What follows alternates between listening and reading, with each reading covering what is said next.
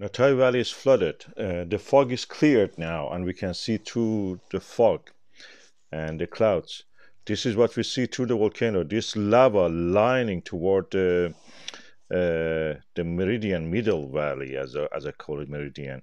Then let me change it toward the Natthagi to the south. Let, let's let's have a zoom out first. And uh, sorry, sometimes it's a little bit jerky the movement, so I have to use the mouse for this.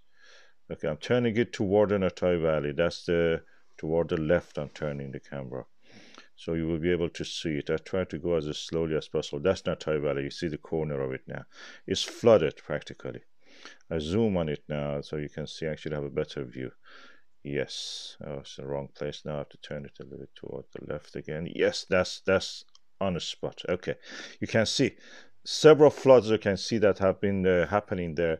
I can count one two three four five six six big floods has actually came down to the Natthagi valley and they're spread like a fan shaped uh, um, spread cone of uh, sediments.